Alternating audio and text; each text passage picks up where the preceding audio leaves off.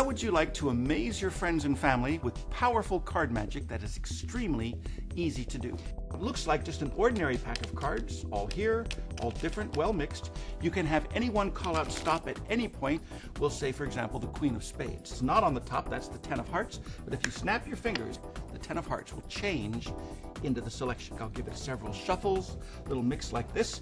You can give the deck to a spectator, and the spectator can cut the cards into several face down piles. You can show that it's not here, it's not here. The one pile that they selected is the one pile with the chosen card on top, and it works every single time. One of my personal favorites is to shuffle the cards like this and spread them face down on the table, and a spectator can touch the back of any one of the cards. Just to show you, they didn't touch this card, they didn't touch this card. The one card that they did touch out of all the pack is the one card that was selected, the Queen of Spades.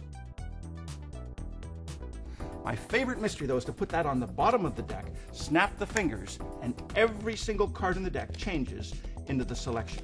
Now, I have searched the world to bring you the very best kept secrets and most professional methods and techniques using the Svengali deck. This DVD is a one-on-one, step-by-step coaching system that is guaranteed to make you the center of attention.